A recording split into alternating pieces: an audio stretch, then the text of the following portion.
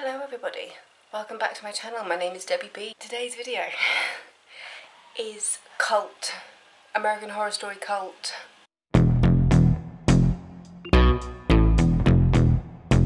This is going to be an interesting one to talk about because this season was politics based, so I'm going to have to tread carefully here. So Cult is the seventh season of American Horror Story premiered September 5th, 2017, takes place in the fictional suburb of Brookfield Heights. And the first episode begins with Donald Trump winning the US presidential election 2016. So, yeah. Politics based. This is going to be a fun one to talk about.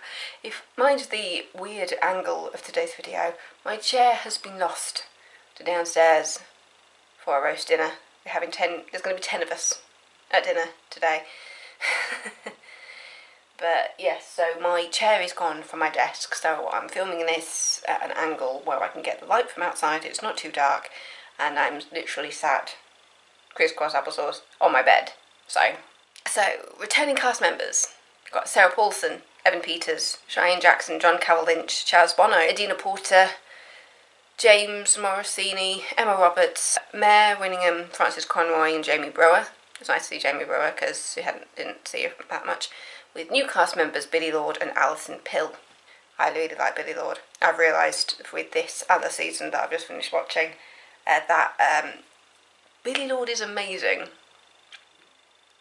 Yeah, seems Cult received mostly positive reviews from critics, with Paulson, Peters, and Porter receiving uh, Saturn Award nominations for their performances, with both Paulson and Porter nominated for Outstanding Lead Actress and Outstanding Supporting Actress at the Emmy Awards.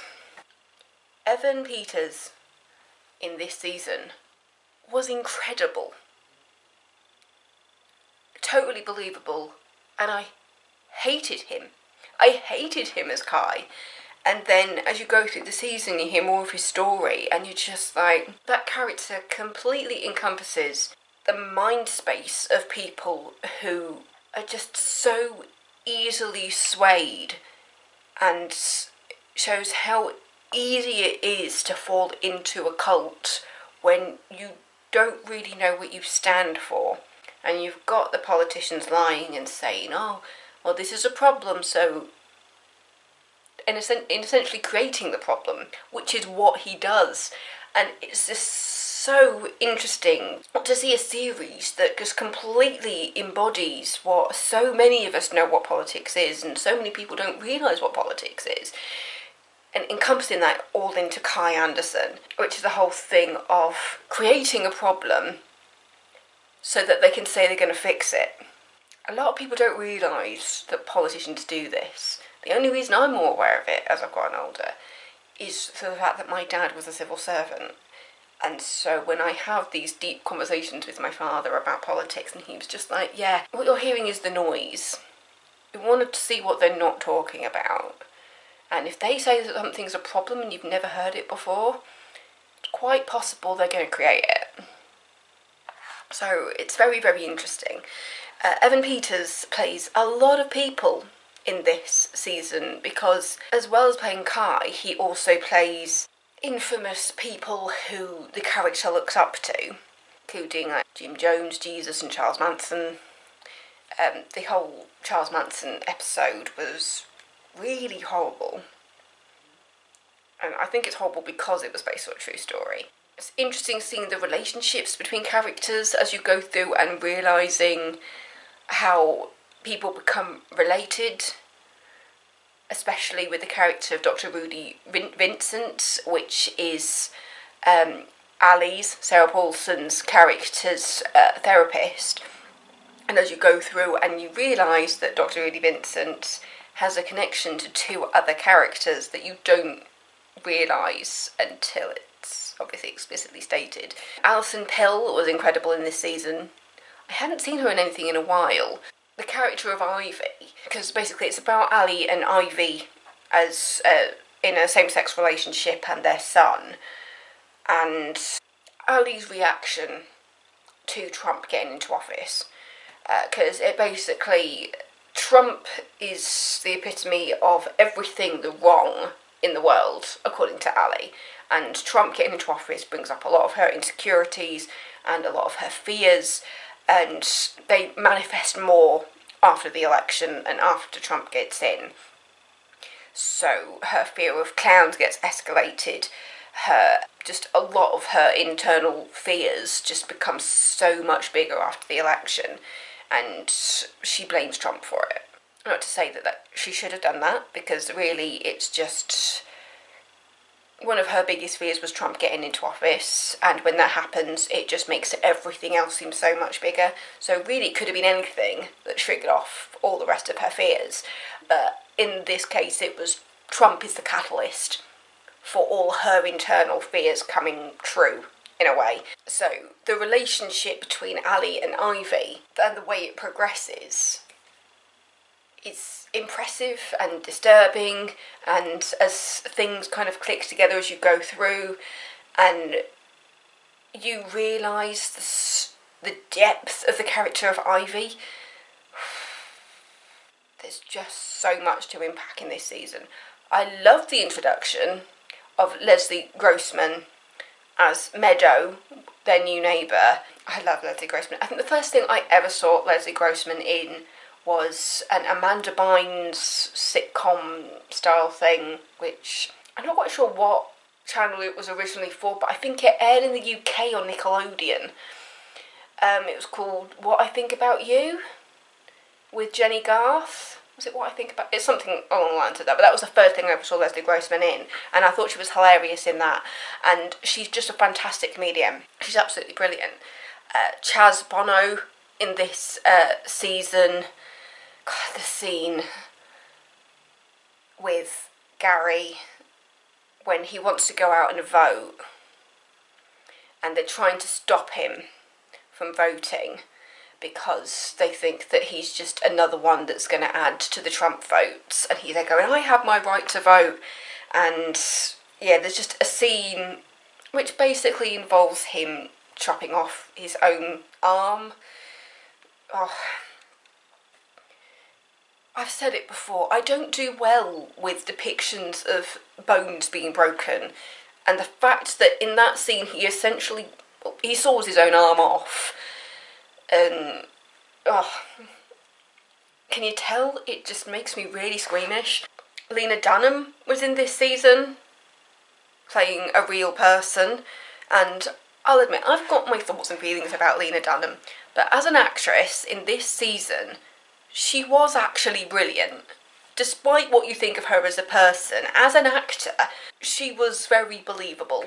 I'll admit, when I first started watching this season, the first season had a bit of a throwback to Freak Show, and I thought I was watching the wrong season at first. I saw the first five minutes and just thought, oh, have I accidentally put on Freak Show? And then I. So I came out of it, went back in again, it was just like, oh, wait, no it's similar, but it's different. Because it turns out that Ali and Ivy's son, Oz, has a bit of a thing about killer clowns. And the clown, Twisty the Clown, becomes a comic book in this season. And there's a lot about clowns. and I don't do well with clowns. I got Tim Curry as a clown burned into my brain from when I was little. How I don't ever remember watching it all the way through, so I don't know how that image is in my brain. Um, I've obviously suppressed where I saw it. Maybe I caught my dad watching it or something, I don't know. But yeah, that image is seared into my brain, which has made me kind of terrified of clowns. So the fact that that's a big theme of this season is killer clowns is horrible. the way Kai kind of creates the problem and then says he's going to fix it just is completely disturbing and as you go through and you realise because there was a point I think it was in like the first or the second episode where Ali realizes because the it basically pulls in something that actually happened. You, I'm not sure if it was the year that Trump got in. I just remember I, just, I I've no idea what year this actually happened, but when there were clowns just go around terrorizing people, it was a real thing that happened, and I'm cannot remember when it happened, but it was a thing. It was happening in America, it was happening in the UK, and people were saying they're just clowns terrorising people. And this has become, and it's a theme of this season, of the fact that there are just people dressed up as clowns terrorising the neighbourhood. And there was a point in either, it was either the first or second episode where Ali's fear of clowns has become so escalated um, that she starts seeing them everywhere she sees them at the supermarket, she sees them at home, and when you're going through and you're just thinking, is this her brain manifesting this, or is somebody actually terrorising her? And uh, I went down that thought train of thinking, if somebody is terrorising her, her wife has to be involved in this because it's either in her head or her wife is terrorising her as well because there's no other way that the clowns would get into the house. So when it later comes out that her wife does have something to do with it, it didn't seem to come that much out of left field for me because that seed was already planted with the fact that Ali was seeing them in the house. Billie Lourd as Winter was terrifying and brilliant at the same time when because she goes in as kind of a babysitter so that she can look after Oz and some of the things that she does while looking after the child are so disturbing that you're just like, why are they still letting her around the child? You're just there looking at it. Cause it's like when you realise that it's not all in Ali's mind and that Oz is seeing the clowns as well. And you're just like, then why is the babysitter taking them into the neighbour's house where they can see that something is terribly, terribly wrong? Because I mean, she makes him watch stuff and then later you realise that she's part of it as well. But yeah, I think politics of all of it, I think a lot of people were put off by the fact that it's about, that it seems to be started off with the Trump thing. And it's just like you need to take a step back from that and just think of it as being set during that time rather than thinking it's about Trump. Because at the end of the day, it's not about Trump. It's not about Trump at all. Ali said thinks it's the catalyst for everything that's going wrong, but I mean, I guess in a way, you've got Kai looking at what everything that's happening and thinking, I don't really have something to support. But then he gets manipulated into creating his own cult, which is obviously the basis of the season. And then you realise as you go even further into the series that actually you think it was all Kai's idea, but it wasn't. It was somebody else entirely, not even connected to the Trump storyline at all. When you realise that actually Trump didn't really have anything to do with this storyline, and actually the character that Lena Dunham plays I mean, I don't know how true the whole storyline that they incorporated in. Lena Dunham plays Valerie Salan- Solanas, um, who attempted to kill Andy Warhol in 1968.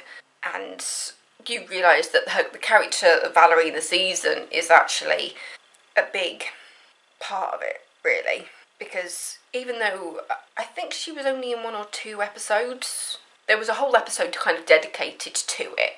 And then you have other characters come in and you realise that the basis of the cult actually comes from the character of Valerie.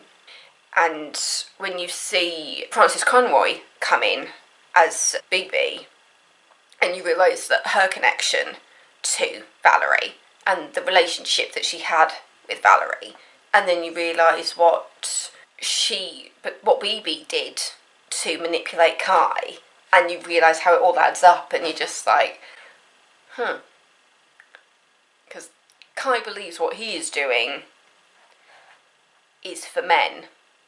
And then at the end, you realise, oh, actually, it's not about the men, it's about the women. There's a bit of a feminist thing going through it as well because of the involvement of the Andy Warhol storyline. It's just, yeah. Because there's not really any supernatural elements to this season. It's all very kind of real person based with the fact that Kai is the one that creates the cult. He gets everybody in. He convinces them to go out and terrorise everybody and kill people. Because when you first see the clowns in the supermarket and you're just like, is she going mad? Is are these things actually happening? And then as you go through and you realise that other characters involved in the supermarket scene are actually kind of part of the problem, and you're just like, ah, oh, okay, so that's why they were just acting like nothing was happening because they were in on it. Because there's also the fact that there's, there's limited people playing. Because I mean, apart from Evan Peters kind of going through and playing like Andy Warhol and Jim Jones and um, Charles Manson and stuff. Evan Peters plays those characters as Kai telling his followers the story of these incredible people that he looks up to. That's where Evan Peters playing multiple characters comes in. Generally, there's very limited people playing the same people in this season because it's more real. Does that make sense? Um, there's not as much of a crossover, I'll say. I mean, there's obviously the hint to season four by having Twisted the Clown in there, but the only time that other people come involved is when they're telling the story of Charles Manson. I think this has to be up there as I think one of my favourite seasons so far. I think I'd still put Murder House at number one just because it was just such a great way to open it. Um, but the fact that for this season they just took out that supernatural element and was just like, no, this is just real people terrorising real people. And it just makes it ten times more disturbing when it's more real like that. The fact that it's just so relevant just makes it ten times worse. Yeah, it's disturbing but also fascinating at the same time. Um, when you see how certain characters are connected, and as you realise what Ali is going through as it gets worse, I mean, there are times when I didn't like Ali, and I thought she was completely making the wrong decisions. But at the same time, everything that she chose to do was for the child. And so when you realise that at the end of the day, she's trying to do what she can to keep her son in her life, yeah. I will say though, there was one point when I thought that Ali was going to kill Kai there's a point when Ali has a conversation with Kai, and she's she basically becomes the chef because uh, she Ali and uh, Ivy run a restaurant together, and so when the restaurant kind of goes a bit pear shaped and Ali's trying to find her way into kind of being with her son and with her wife, she ends up in the cult. Everybody ends up in the cult at some point, and there's a point when Ali is having a conversation with Kai, and she cooks for him. She basically becomes like the chef um, for the cult. But yeah, she essentially kind of just like becomes Kai's almost personal chef. And there was a point where I was just like, is she going to poison him? Is she because she knows that? I mean, the, she was basically given two opportunities to kill him by cooking for him. So the first time I just thought, oh, okay, is she gonna is she going to do something? And she didn't. And then the second time when you see her cooking for the, for the same meal, it's just like, has she got? Has she finally? Is she finally going to do it? And again, she doesn't. But then she uses the method that we think she's going to kill Kai with to kill somebody else. And you're just like, oh, it feels like there's, but Ali just has a bit of a missed opportunity there. Some of the other things wouldn't happen if she had killed him that early. But yeah, with the clowns and everything, that was bad enough. When you see kind of the rationale behind it, when you finally realise who the clowns are, and when they take their masks off, and there's that conversation of how far they will go for Kai. And the way they use the relationship to Dr. Rudy Vincent to kind of target people, yeah, that one's a bit weird. It's just so disturbing, and I kind of love it.